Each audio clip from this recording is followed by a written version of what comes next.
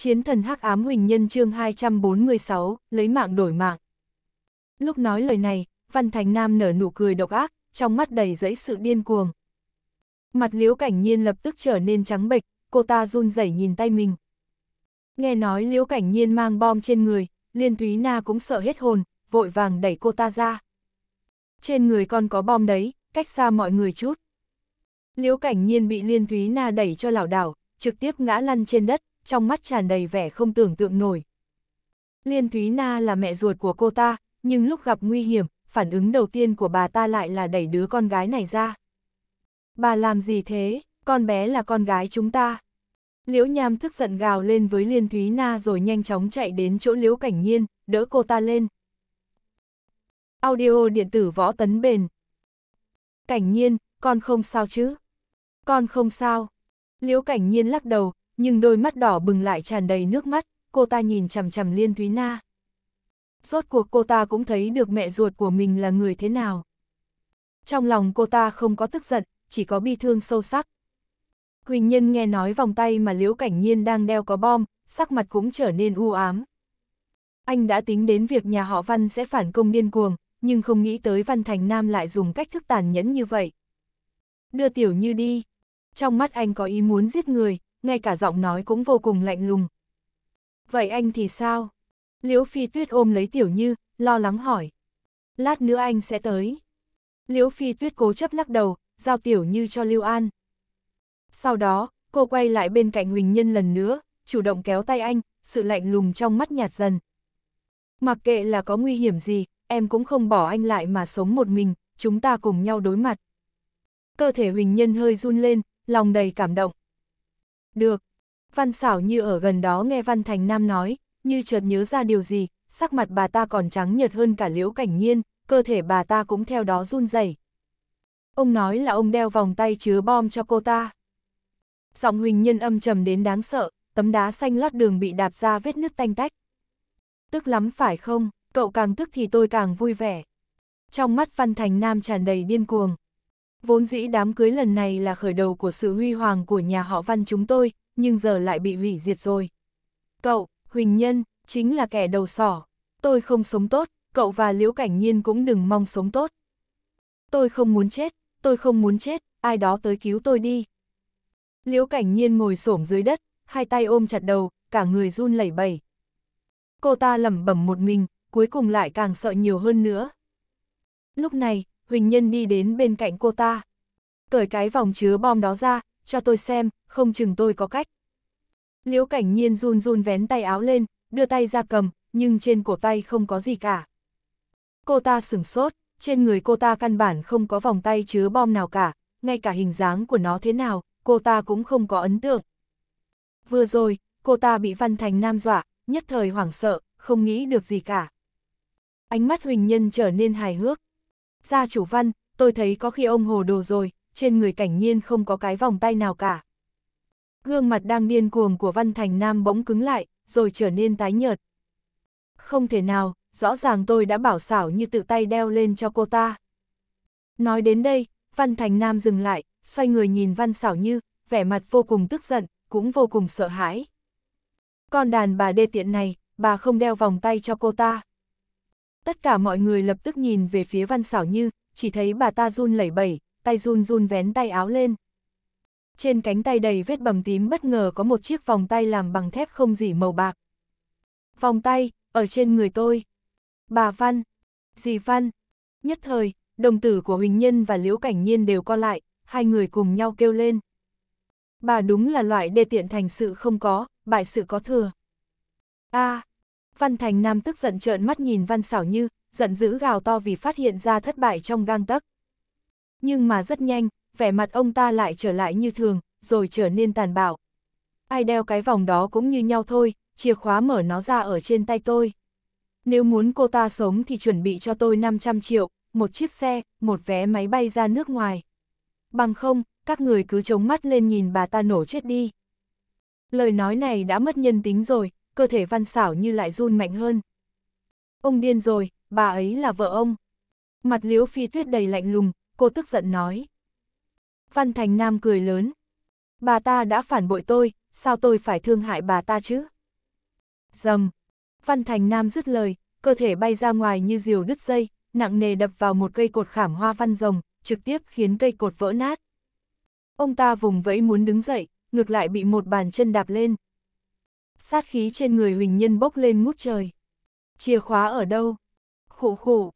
Văn Thành Nam ho khan, phun ra mấy ngụm máy, trên nụ cười điên cuồng vẫn giữ nguyên trên mặt. Xin lỗi nha, vừa rồi tôi lừa các người thôi. Cái vòng tay đó căn bản không có chìa khóa, một khi đeo lên, sẽ không thể nào tháo xuống, chỉ có thể làm nô lệ cả đời cho đối phương. Huỳnh Nhân không tin, lục lọi trên người Văn Thành Nam một lần, nhưng không tìm được chìa khóa. Lúc này, Liễu Nham chạy ra từ khách sạn.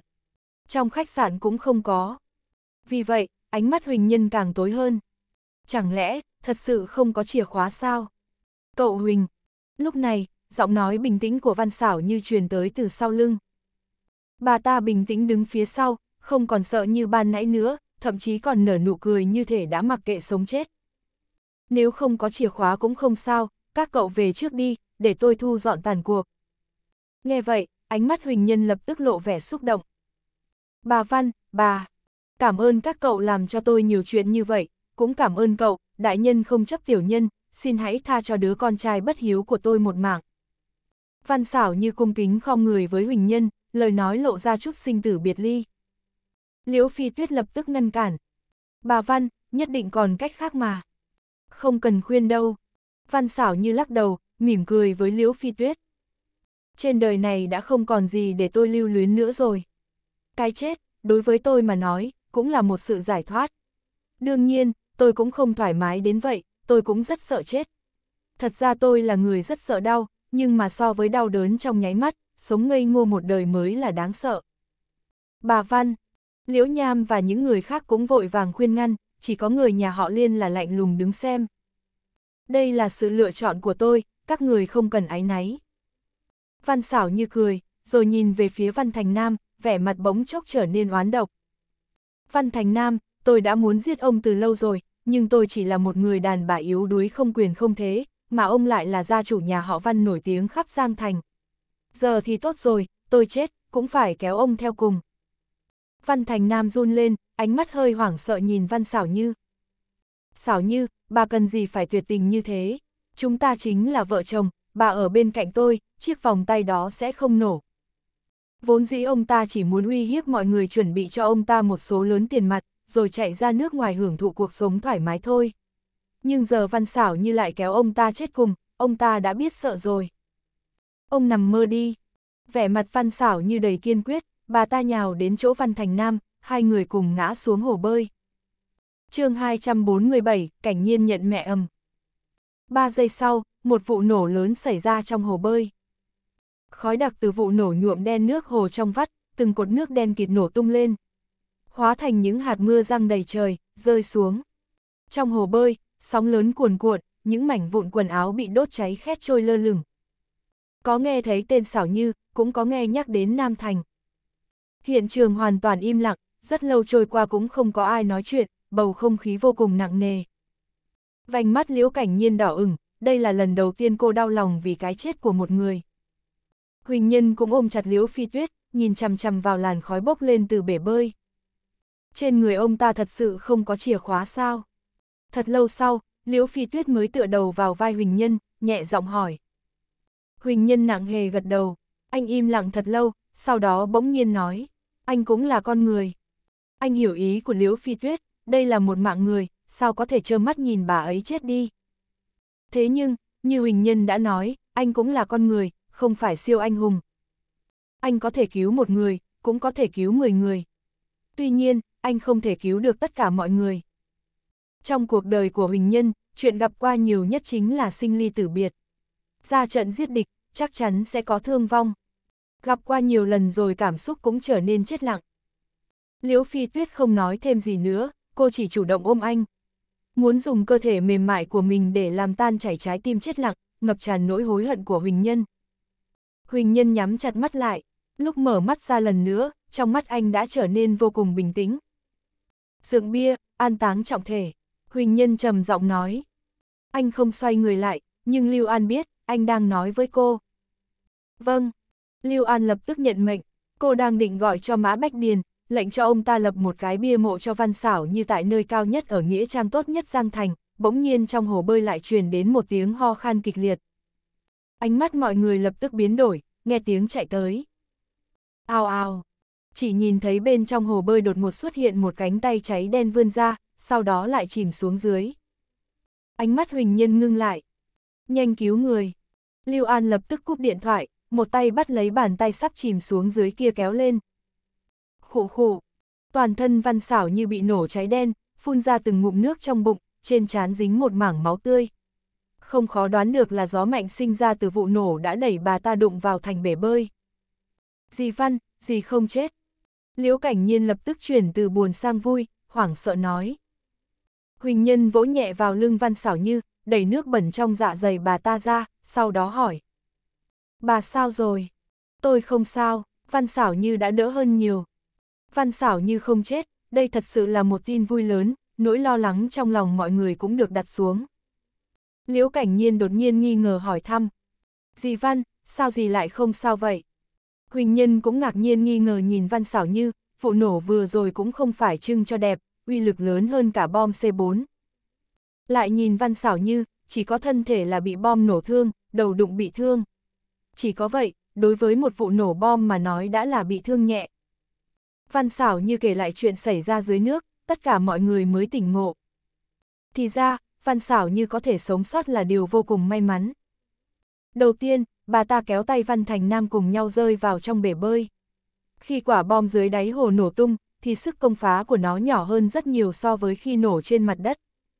Tiếp theo, không thể không nói Văn Xảo như thực sự rất may mắn, không biết chiếc vòng tay bị gài bom này được làm bằng thứ gì, mà chỉ mới ngấm nước một chút thì đã tự rơi ra rồi. Ai mà ngờ nó sẽ lọt vào túi áo của Văn Thành Nam.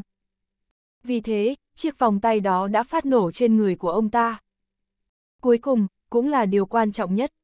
Khi phát nổ, luồng sóng khí thứ nhất đã hất bay Văn Xảo như ra xa, gần như là chia bà ta và Văn Thành Nam mỗi người một đầu bể, tránh được trung tâm của vụ nổ. Tổng hợp ba điều trên lại, Văn Xảo như mới có thể tránh được cái chết. Mà Văn Thành Nam không được may mắn như vậy, cơ thể ở ngay trung tâm của vụ nổ, không còn mảnh xương nào. Thực sự quá nguy hiểm. Liễu cảnh nhiên lau mồ hôi lạnh trên đầu, vỗ ngực nói. Sau này tôi không kết hôn nữa. Không bị gì là tốt rồi. Huỳnh Nhân nhìn cô ta một cái, vừa cười vừa nói. Chuyện này cũng khó trách, hôm nay là đám cưới của cô ta, nhưng lại kết thúc bằng một kết cục đáng sợ như thế, cả đời này sẽ có bóng ma trong lòng. Một lát sau, xe cứu thương đến. Đám người của Huỳnh Nhân cũng không rời khỏi, mà cùng nhau hộ tống Văn Xảo như đi bệnh viện gần nhất ở Giang Thành. Văn Xảo như được truyền nước và băng bó cũng dần dần khỏe lại. Mà chẩn đoán bệnh của Văn Duy Thần cũng đã có, anh ta bị đánh đến mức gãy hết toàn bộ xương trên cơ thể. Lục bác hàm ra tay vô cùng tàn nhẫn, đánh cái nào nghe thấy tiếng xương của Văn Duy Thần gãy cái đó. Nói cách khác, anh ta sẽ bị hôn mê cả đời. Văn xảo như có chút buồn phiền, lúc này, bỗng nhiên Liễu Cảnh Nhiên nói, dì Văn à, không ấy thì dì cho con làm con gái nuôi của dì nhé. Sau khi những lời này được nói ra, không chỉ Huỳnh Nhân, Liễu Nham, ngay cả bản thân Văn Xảo Như cũng cảm thấy hơi ngạc nhiên. Cháu, đứa nhỏ này, nói bậy gì thế?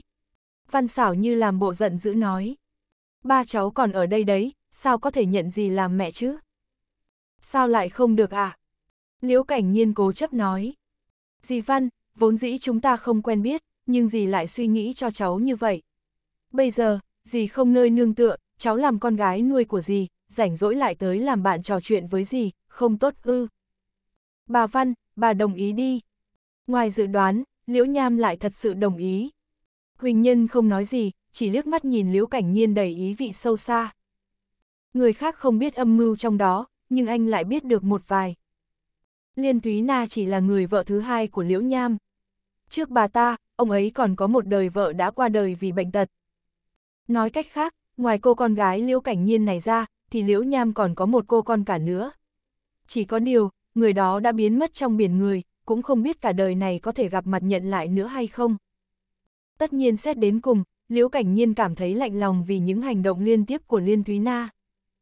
So sánh với nhau, Văn Xảo như có tấm lòng lương thiện hơn nhiều.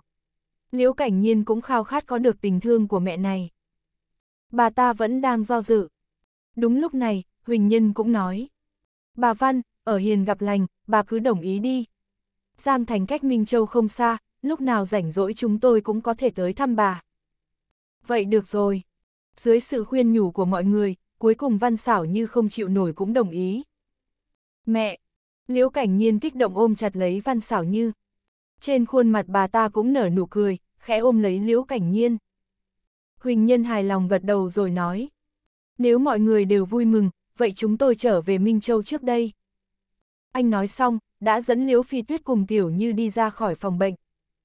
Tuy nhiên, lúc Liễu Phi Tuyết đi ngang qua Liễu Nham, ông ấy lại liếc mắt một chút, nhìn thấy miếng ngọc cổ xưa vô tình lộ ra bên hông trên quần áo của cô. Miếng ngọc không quý, tay nghề thủ công cũng rất thô sơ, vừa nhìn đã biết không đáng tiền. Nhưng Liễu Phi Tuyết vẫn đeo trên người. Cơ thể Liễu Nham lập tức run lên, một tay giữ cô lại. Tổng Giám Đốc Liễu, chờ chút. Liễu Phi Tuyết quay người lại. Có chuyện gì ư? Ít hầu Liễu Nham khẽ động, cất giọng run rẩy hỏi. Con có được miếng ngọc này từ đâu ra vậy? chương 248, Chiến xe tử thần. Bỗng nhìn thấy phản ứng khác thường của ba, Huỳnh Nhân có chút để ý, lại cộng thêm việc từng trải qua cuộc hôn nhân bất hạnh trước kia, không khó đoán ra được chút manh mối. Bản thân Liễu Phi Tuyết cũng sừng sốt, không ngờ Liễu Nham lại hỏi về ngọc bội cổ, nhưng rất nhanh cô liền cười nhẹ.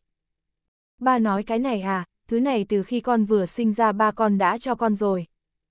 Sắc mặt Liễu Nham tái nhợt, nghẹn ngào một hồi. Ba con tên là gì? Nhắc tới chuyện này, trong mắt Liễu Phi Tuyết hiện lên vẻ chán ghét và không vui. Nhưng vẫn nói, ông ta tên là Liễu Nhược Ngu, bây giờ đang ở Yên Lăng. Là vậy sao? Lúc này tinh thần Liễu Nham đã phục hồi từ trong khiếp sợ, khóe miệng tràn đầy chua xót. Ba, nếu ba thích khối ngọc bội này thì con sẽ tặng cho ba. Ngoặc kép. Không cần không cần. Liễu Nham liên tục lắc đầu, bỗng nhiên cả người ông ấy sững sờ tại chỗ. Ngay sau đó toàn thân ông ấy run rẩy, trong mắt chứa đầy sự khó tin mà nhìn Liễu Nham. Con vừa mới gọi ba là cái gì? Ba à? Liễu Phi Tuyết vẻ mặt nghiêm túc. Người là ba của Huỳnh Nhân, mà con và Huỳnh Nhân đã kết hôn, tất nhiên người cũng là ba của con. Ngoặc kép. Hai mắt Liễu Nham đờ đẫn liếc nhìn Huỳnh Nhân, một lúc lâu sau sắc mặt ông ấy đỏ bừng rồi kích động nói. Tốt tốt tốt. Ông ấy liên tiếp nói ba chữ tốt, đủ để chứng minh tâm trạng ông ấy có bao nhiêu vui vẻ. Trái với ông ấy, trong lòng Liễu Phi Tuyết toàn là nghi vấn, cùng lắm chỉ là gọi một tiếng, ba, thôi mà, sao lại vui vẻ đến thế. Huỳnh Nhân ôm Tiểu Như đã ngủ say và nhìn Liễu Phi Tuyết một cái thật sâu. Anh đã nhìn ra tình cảm của Liễu Nham đối với Liễu Phi Tuyết rất đặc biệt, đây cũng không phải là cảm xúc với một người con dâu đơn giản mà còn xen lẫn nhiều nhân tố phức tạp hơn. Trong lòng anh bỗng xuất hiện một suy đoán cực kỳ lớn mật, chính anh cũng bị loại suy nghĩ này của chính mình làm cho chấn động. Nhưng anh không nói ra, bởi vì việc này liên lụy rất rộng thậm chí liên quan đến thế lực yên lăng hỗn tạp long xà. Quan trọng hơn là Liễu Phi Tuyết rất có thể mà gặp rắc rối bởi vì chuyện này. Ba, sao người cười vui vẻ như vậy? Lúc này Liễu Cảnh Nhiên từ trong phòng bệnh đi ra, vẻ mặt nghi hoặc nhìn Liễu Nham. Không sao đâu. Liễu Nham lau nước mắt, bỗng nhiên nhẹ nhàng ôm lấy Liễu Cảnh Nhiên nói. Cảnh Nhiên, mặc kệ sau này có phát sinh chuyện gì, con mãi là con gái của ba, ba sẽ bảo vệ con thật tốt. Con biết rồi ba, người lớn tuổi như vậy mà còn xến thế sao? Liễu Cảnh Nhiên tùy ý để Liễu Nham ôm, mặt đỏ bừng nói. Lúc chia tay Liễu Cảnh Nhiên đi tới trước mặt Liễu Phi Tuyết cúi đầu thật sâu, chị Liễu, trước kia là em quá nịnh hót người khác và làm rất nhiều chuyện có lỗi với Huỳnh Nhân, nên chị cũng bởi vậy mà chán ghét em. Nay ở chỗ này em muốn nói một tiếng xin lỗi chị. Liễu Phi Tuyết lắc đầu. Người không phải thánh, ai lại không mắc sai lầm, bây giờ đây mới thật sự là cốt. Cứ như vậy, ba người nhà họ Huỳnh bước lên đường trở về Minh Châu. Anh không ngồi chiếc Rolls Royce kia của Lưu An, mà lái chiếc BMW thương vụ của Liễu Phi Tuyết trở về. Liễu Phi Tuyết ngồi ở vị trí ghế lái phụ, trong ngực ôm Tiểu Như đang ngủ say. Huỳnh Nhân vừa lái xe, vừa dùng ánh mắt ôn hòa nhìn Liễu Phi Tuyết. Nhìn gì vậy? Chú ý tới ánh mắt Huỳnh Nhân, Liễu Phi Tuyết khẽ nhíu mày, nói. Nhìn em thật xinh đẹp. Huỳnh Nhân mỉm cười nói. Lưu manh. Liễu Phi Tuyết cũng hiếm thấy mà cười cười, nhìn Huỳnh Nhân một cái. Hôm nay anh thoải mái hơn mỗi ngày trước kia đấy. Ngoặc kép. Có sao? Huỳnh Nhân sờ sờ mũi, im lặng cười. Đại khái là vì em đã công khai quan hệ của chúng ta. Công khai quan hệ đúng là một tâm nguyện của Huỳnh Nhân. Trước tiên không nói sau khi công khai quan hệ người ngoài có thể thật lòng chúc phúc cho hai người bọn họ hay không, nhưng đối với Huỳnh Nhân mà nói đây là một loại tôn trọng. Trang đầu báo Minh Châu ngày mai, đại khái sẽ bị hai người bọn họ sẽ chiếm đóng. Huỳnh Nhân, như vậy còn chưa đủ, ngoặc kép. Liễu Phi Tuyết nhìn Huỳnh Nhân lắc đầu nói.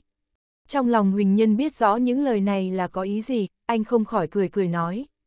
Chuyện cóp từ trang T Ramchuyen VN. Vậy như thế nào mới đủ? Ít nhất phải để cho cha em thừa nhận anh mới thôi. Trên mặt Liễu Phi Tuyết tràn đầy nghiêm túc. Với tiến độ hiện tại thì còn xa mới đủ. Huỳnh Nhân không nói gì nữa, chỉ là trên mặt đã lộ ra nụ cười nhàn nhạt. Người đời đều cảm thấy hoàng tộc Yên Lăng rất mạnh, thậm chí Liễu Phi Tuyết cũng cảm thấy như vậy, nhưng ở trong mắt Huỳnh Nhân vẫn không tính là gì. Nhưng mà anh vẫn không định nói cho Liễu Phi Tuyết biết, cuộc sống bình thản ấm áp đến không dễ dàng này, lấy thân phận người thường hưởng thụ củi gạo dầu muối cũng không mất đi một chuyện hạnh phúc, không phải sao. Huỳnh Nhân đang muốn nói cái gì đó, bỗng nhiên ánh mắt anh ngưng tụ, trên mặt phủ lớp xương lạnh lẽo. Có chuyện gì vậy? Liễu Phi Tuyết nhận thấy biểu tình trên mặt Huỳnh Nhân không khỏi lo lắng hỏi. Ngồi vững nhé. Huỳnh Nhân không giải thích dư thừa chỉ nắm chặt tay lái, ánh mắt sắc bén như lưỡi dao. Chỉ thấy phía trước bỗng nhiên xuất hiện ánh đèn pha chói mắt, một chiếc Mercedes tăng tốc độ lớn nhất, động cơ phát ra thanh âm trầm thấp rồi chạy nhanh về phía bọn họ. Huỳnh Nhân, mau dừng xe. Nhìn thấy một màn này, trong nháy mắt sắc mặt Liễu Phi Tuyết trở nên tái nhợt, sau đó vô cùng lo lắng nói. Tuy nhiên Huỳnh Nhân không những không đạp phanh, ngược lại còn đạp chân ga đến cùng, chiếc BMW biến thành dã thú hung mãnh hung hăng đâm tới chiếc Mercedes kia. Trong tay Huỳnh Nhân, chiếc xe này không phải là một chiếc BMW thương mại nữa, mà là một chiếc xe off-road được cải tiến tốt. Vì vậy chỉ trong vài trăm mét Mercedes-Benz và BMW biến thành hai con hổ và sư tử hung dữ tấn công lẫn nhau.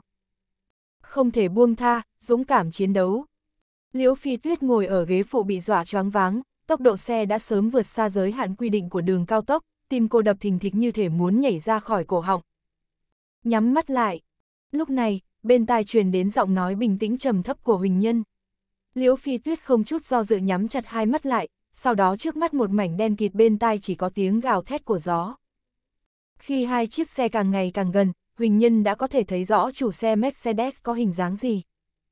Mũi ưng mắt to tuy là da vàng nhưng lại là diện mạo tiêu chuẩn của người châu Nam. Điều duy nhất khiến Huỳnh Nhân kinh ngạc chính là anh ta có tố chất tâm lý rất tốt, ở tốc độ nhanh như vậy vẫn chấn định tự nhiên như trước, thần sắc lãnh đạm.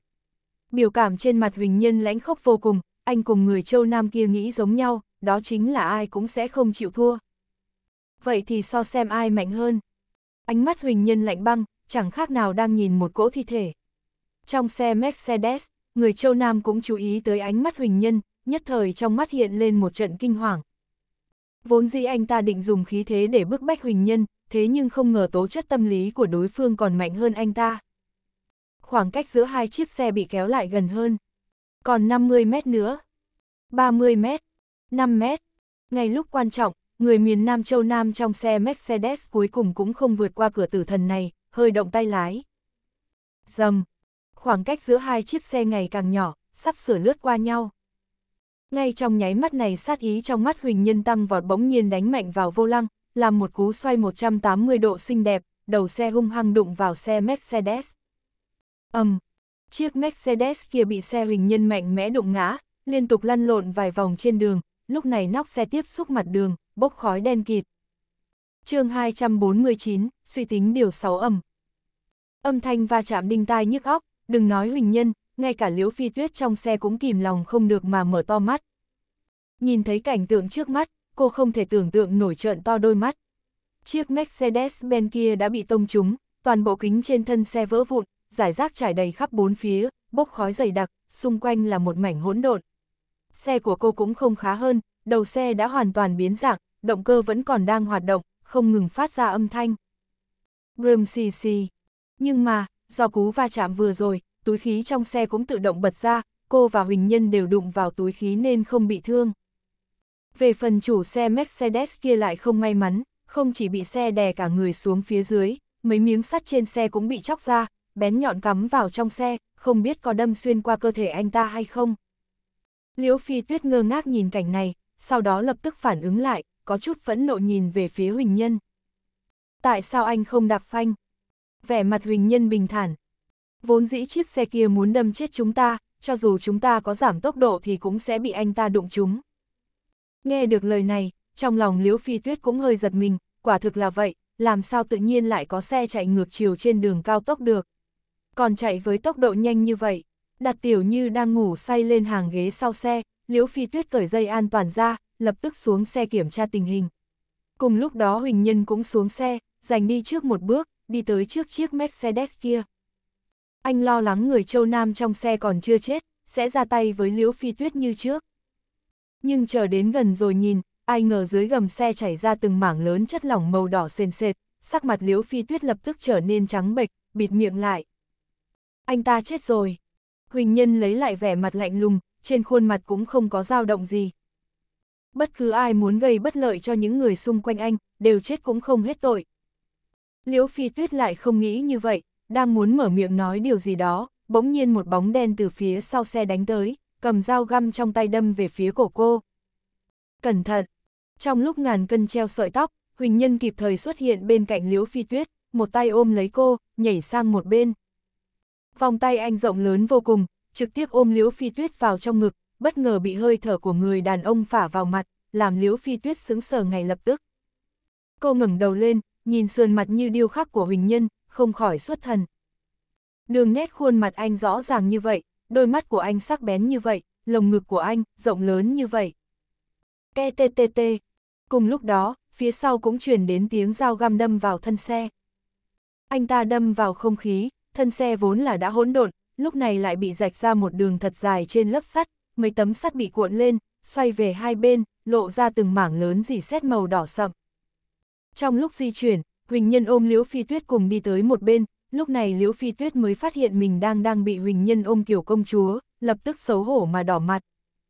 Thả, thả em xuống đi.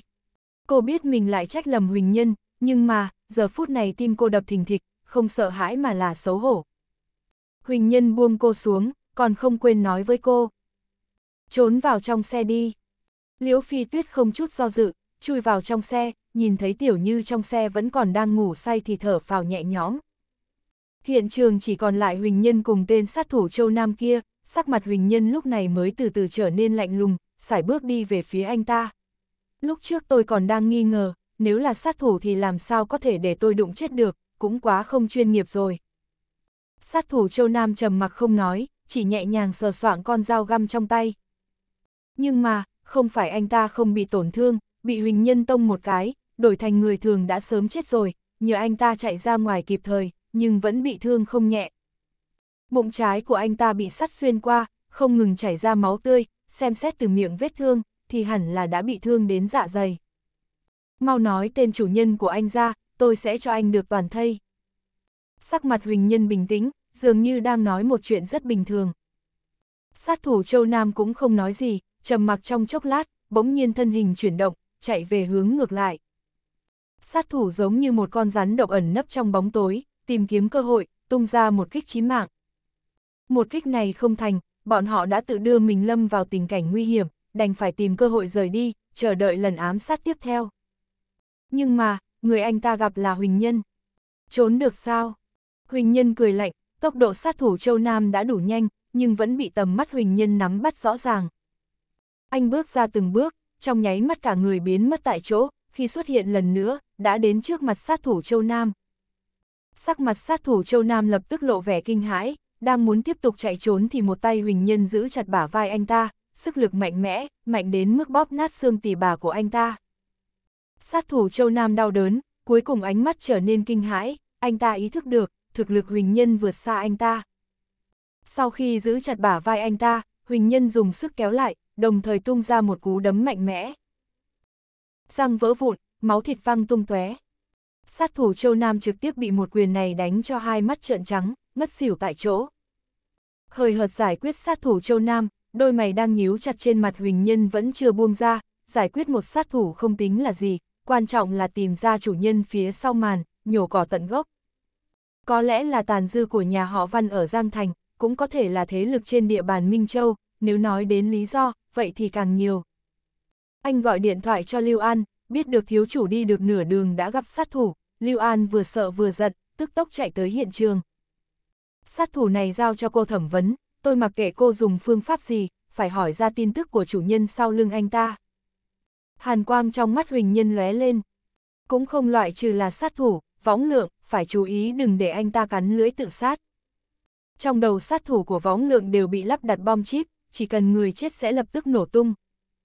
Vâng, vẻ mặt Lưu An lạnh như băng, sách sát thủ Châu Nam lên như sách xác một con chó chết. Sau đó, lại thông báo cho Tôn Du Phong để xử lý vụ tai nạn giao thông trên đường cao tốc. Loại chuyện nhỏ này, không cần làm phiền đến các gia tộc khác, để nhà họ Tôn xử lý là được. Trong khoảng thời gian này Tôn Du Phong vẫn luôn chờ mệnh lệnh của Huỳnh Nhân, vô cùng khát vọng cống hiến cho Huỳnh Nhân, thể hiện lòng trung thành. Nhận được điện thoại, Tôn Du Phong siêng năng giao phó xuống dưới, bản thân lại tự mình đi gặp mặt Huỳnh Nhân. Cậu Huỳnh, Tôn Du Phong cung kính hô. Huỳnh Nhân gật đầu. Xe của chúng tôi bị hỏng, có thể đưa tôi và vợ con tôi đi một chuyến không? Tất nhiên có thể. Tôn Du Phong biết Huỳnh Nhân đã có gia đình, chính là không biết vợ anh là ai. Ông ta nghiêng đầu đi, muốn nhìn xem vợ Huỳnh Nhân là ai, trong nháy mắt nhìn thấy Liễu Phi Tuyết, biểu cảm của Tôn Du Phong lập tức giống như gặp quỷ, sắc mặt kinh hãi. Liễu Tổng, sao cô lại ở đây? Tôi là vợ của anh ấy. Liễu Phi Tuyết không mặn không nhạt nói một câu. Những lời này càng khiến Tôn Du Phong thử người ra một hồi lâu, nửa ngày mới phục hồi lại tinh thần. Khi nhìn về phía Huỳnh Nhân, ánh mắt càng thêm giật nảy mình, ôi chúa ơi! Nữ Tổng Giám đốc băng Sơn Đệ Nhất Minh Châu lại bị Huỳnh Tiên Sinh cưới được, thật là thần kỳ. Tôn Du Phong cam tâm tình nguyện làm tài xế, đưa cả nhà họ Huỳnh về nhà. Reng reng. Nửa đường, điện thoại di động của Liễu Phi Tuyết vang lên, không ngờ lại là Hào Tinh Húc nhà họ Hào gọi tới. Cô Liễu, trễ như vậy, không quấy giày cô chứ. Trong điện thoại là tiếng Hào Tinh Húc cởi mở cười to tiếng. Quấy giày rồi. Âm thanh của Liễu Phi Tuyết lạnh như băng, cự tuyệt người ngoài ngàn dặm, xếp phương có chuyện gì không? Hào Tinh Húc cũng không ngại, cười nói. Cũng không có chuyện gì, chỉ là muốn chúc mừng công ty giải trí huy hoàng của tôi và công ty của cô hợp tác thành công viên mãn. Tôi dự định tuần sau tổ chức một bữa tiệc chúc mừng, cô Liễu và anh Huỳnh, nhất định phải đến đó. Huỳnh Nhân ở một bên nghe, trong mắt lập tức lóe qua một tia sát khí. chương 250, ám giả quân mẫu. Đồng Ngọc Thụ từng nói với Huỳnh Nhân một bí mật liên quan tới nhà họ Hào, đó là nhà họ Hào sẽ tổ chức một bữa tiệc ăn mừng. Bên ngoài chúc mừng hai nhà hợp tác thành công tốt đẹp, nhưng thực tế đó lại là một cái bẫy nhắm vào Huỳnh Nhân. Trong bữa tiệc, Hào Tinh Húc sẽ bỏ thuốc vào trong một ly rượu, sau đó để Huỳnh Thăng Phát lấy danh nghĩa mời rượu khiến Huỳnh Nhân uống cạn. Chờ sau khi Huỳnh Nhân hôn mê thì tiến hành báo thù. Huỳnh Nhân không cho rằng Đồng Ngọc Thụ lại lừa mình, cũng chẳng ngờ Hào Tinh Húc thật sự làm ra một màn như thế. Thế nhưng, Liễu Phi Tuyết hoàn toàn không bị lay động. Hy vọng xếp Hào đừng hiểu lầm, tôi xem mặt mũi của Huỳnh Thăng Phát mới hợp tác với ông. Vậy nên bữa tiệc ăn mừng này tốt nhất là khỏi tổ chức nữa, tránh phải tự rước nhục vào thân. Lời nói này có thể nói bá đạo, không chừa một chút mặt mũi cho Hào Tinh Húc. Cho dù là Tôn Du Phong đang lái xe cũng không nhịn được mà run tay lái. Nhưng mà Liễu Phi Tuyết đã nói rõ ràng như thế, Hào Tinh Húc nghe thấy không chỉ không tức giận, mà vẫn tiếp tục mặt nóng rán mông lạnh. Cô Liễu, không thể nói như vậy được, kẻ sĩ ba ngày không gặp phải lau mắt mà nhìn, không thể cứ mãi dùng một ánh mắt để nhìn người. Tôi đã không còn là thương nhân Hào Tinh Húc bụng dạ độc ác trước kia nữa rồi. Bữa tiệc ăn mừng này tôi đặc biệt làm vì quý công ty, hy vọng cô Liễu đừng từ chối ý tốt của tôi. Những lời này nói rất thành khẩn, rất tử tế. Trong lúc nhất thời, Liễu Phi Tuyết cũng lâm vào tình thế khó xử. Lúc này, Huỳnh Nhân bỗng nhiên mở miệng. Đồng ý với ông ta, nhưng em không cần đi, anh đi thay em. Liễu Phi Tuyết lập tức kinh ngạc nhìn Huỳnh Nhân. Vậy có được không? Nếu là tiệc ăn mừng ông ta có lòng tổ chức cho tập đoàn lệ tinh, chắc hẳn cũng sẽ thông cảm cho em công việc bận bịu. Để anh đi thay, có gì là không được. Liễu Phi Tuyết gật nhẹ đầu, cô cũng không muốn nhìn thấy ông chú trung niên vừa háo sắc vừa giàu mỡ Hào Tinh Húc này. Cô truyền đạt lại toàn bộ lời của Huỳnh Nhân cho Hào Tinh Húc. Chuyện này, Hào Tinh Húc lập tức trở nên khó xử. Ông ta trầm tư hồi lâu, bỗng nhiên cắn răng một cái, trong lòng thầm nghĩ, không đến thì không đến, dù sao mục tiêu của ông đây cũng không phải cô. Nếu cô Liễu phải đi công tác, vậy cũng chỉ có thể để anh Huỳnh tới thay. Hào Tinh Húc cười nói. Tôi và anh Huỳnh mới quen đã thân, không chừng sau bữa tiệc này sẽ trở thành bạn thân đấy. Cái này rõ ràng là nói dối không cần làm nháp, Liễu Phi Tuyết cố nén sự buồn nôn trong người, cúp điện thoại. Vậy cứ thế đi. Nói xong, cô lại lo lắng nhìn về phía Huỳnh Nhân. Như vậy thật sự không có vấn đề gì chứ. Huỳnh Nhân cười cười. Yên tâm đi, anh không có việc gì. Tốc độ của Lưu An rất nhanh, Huỳnh Nhân và Liễu Phi Tuyết vừa về tới nhà chưa được bao lâu đã có kết quả thẩm vấn. Là nhà họ đồng tìm sát thủ trên web đen. Trong mắt Huỳnh Nhân lập tức hừng hực sát khí, thế nhưng không phải nhắm vào nhà họ đồng, mà là nhà họ thẩm. Lúc trước, thẩm Thanh Vân thể hứa chân thành, cam đoan đã thay anh đi hủy bỏ lệnh truy nã của đồng ý hành trên web đen. Còn vì vậy mà thâu tóm không ít doanh nghiệp gia đình của nhà họ đồng, không nghĩ tới lại dở thủ đoạn há miệng chờ sung. Thiếu chủ, anh có muốn tôi đi giết thẩm Thanh Vân không? Giọng nói của Lưu An mang theo sự lạnh lẽo. Huỳnh Nhân suy tư hồi lâu, chợt cười sâu xa. Trước tiên đừng đánh rắn động cỏ, Thẩm Thanh Vân và nhà họ Thẩm đã đánh một con bài tốt, thâu tóm một phần sản nghiệp của nhà họ Đồng từ chỗ tôi lại không hủy lệnh truy nã mà đồng ý hành đưa ra với tôi. Khiến thù hận giữa tôi và nhà họ Đồng càng sâu thêm, yên ổn làm ngựa ông đắc lợi. Lưu An không hiểu. Thiếu chủ, nhà họ Thẩm là mượn tay của anh diệt nhà họ Đồng, yên ổn ngồi làm ngư ông đắc lợi, sao anh còn cười được vậy? Tôi đang cười nhà họ Thẩm tự cho là thành công khơi mào chiến tranh giữa tôi và nhà họ Đồng, thật ra thì vẫn là một con kiến hôi trong lòng bàn tay tôi mà thôi. Huỳnh Nhân cười nhạt một tiếng, nói, tạm thời chưa cần động vào nhà họ thẩm, ngược lại nếu nhà họ thẩm hy vọng tôi ra tay với nhà họ đồng, vậy thì tôi sẽ giúp đồng ngọc thụ một lần vậy, giết đồng ý hành. Vậy nhà họ thẩm thì sao? Chuyện kiếm hiệp hay? Huỳnh Nhân dừng lại một lát, nghiền ngẫm cười một tiếng. Lưu An à, xem ra cô ở cạnh tôi quá lâu, quên mất thân phận ban đầu của mình rồi thân phận ban đầu của tôi. Lưu An sửng sốt. Không sai, trước khi gặp tôi, cô chính là ám giả quân mẫu, vương hậu bóng đêm. Ánh mắt Huỳnh Nhân lóe lên một vệt sáng sắc bén. Cho dù đã rửa tay gác kiếm, giới sát thủ vẫn lưu truyền truyền thuyết về cô. Sát thủ muốn đuổi kịp cô phải tính tới hàng vạn. Bên kia điện thoại, hô hấp của Lưu An dồn dập. Thiếu chủ, ý của anh là, quay về làm chính mình đi. Huỳnh Nhân cười nói. Nếu Thẩm Thanh Vân đã có quyền thao túng web đen vậy thì tôi sẽ để cô trở về làm ám giả quân mẫu, vương hậu bóng đêm trước kia, hiệu lệnh cho giới sát thủ, quét sạch nhà họ Thẩm.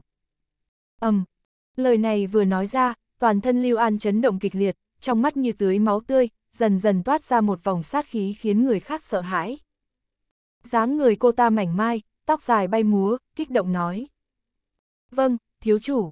Ban đêm, mặt trăng lạnh lẽo yên ắng, mây đen bao phủ, một đêm này với nhiều người mà nói, chỉ là một buổi tối bình thường. Nhưng đối với web đen nằm ngoài luật lệ xã hội mà nói, tối nay đã định trước là không bình thường. Giới sát thủ trên toàn cầu sôi trào, sát thủ với đủ loại danh hiệu sôi nổi hoạt động trên web đen, không vì điều gì khác, chỉ vì sát thủ số một thế giới biến mất không chút tin tức từ nhiều năm trước trở lại giới sát thủ. Cô ta mặc một bộ trang phục giả hành màu đen bó sát người, một đôi mắt đỏ tươi, tựa như trong đôi mắt đó có núi thây biển máu đang chìm nổi. Cô ta là thần tượng trong giới sát thủ, cũng là cơn ác mộng mà cả thế giới không gạt đi được. Nhiều nước trên thế giới treo thưởng đối với cô ta, số tiền thưởng đã vượt quá 10 tỷ đô la. Nhưng đến nay cô ta vẫn cứ ung dung ngoài vòng pháp luật như cũ. Ám giả quân mẫu là danh hiệu của cô ta. Vương hậu bóng đêm là địa vị của cô ta. Mỗi khi màn đêm buông xuống, toàn bộ đêm tối đều thành thiên đường săn giết của cô, ai có thể ngờ một sát thủ oai phong một cõi như thế lại cam tâm tình nguyện trở thành hộ vệ và là cái bóng trung thành nhất của một người đàn ông. Bây giờ, đã qua 5 năm, người phụ nữ kia đã trở về. Tất cả sát thủ đều chờ mong nhiệm vụ đầu tiên ám giả quân mẫu nhận sau khi trở về, nhưng ám giả quân mẫu không nhận nhiệm vụ mà lại tự mình ban bố một nhiệm vụ. Ám sát thẩm Thanh Vân Địa điểm, thành phố Minh Châu Đại Hoa Thân phận, thiếu gia nhà họ thẩm ở thành phố Minh Châu Tiền thưởng truy nã, không. Ghi chú, người thành công có thể gặp mặt ám giả quân mẫu. Lệnh truy nã đã được ban bố. Trong một giờ ngắn ngủi, số lượt xem đã hơn 100 triệu. Tất cả sát thủ đều trợn mắt há hốc mồm, không nghĩ tới ám giả quân mẫu lại lấy thân phận người đi thuê để trở lại giới sát thủ. Sau đó càng ngày càng nhiều sát thủ bắt đầu tò mò thẩm thanh vân là ai, vậy mà lại khiến ám giả quân mẫu chủ động truy nã. Chẳng lẽ là kẻ mạnh nào đó trên thế giới? Nhưng nếu là kẻ mạnh thì sao số tiền truy nã lại là không? Nhưng mà thứ càng nhiều người quan tâm là điều cuối cùng là lệnh truy nã, có thể gặp mặt ám giả quân mẫu.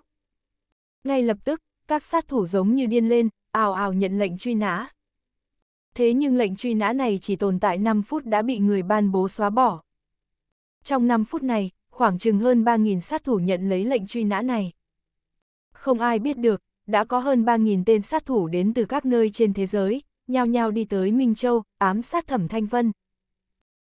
Audio điện tử võ tấn bền. Hết chương 250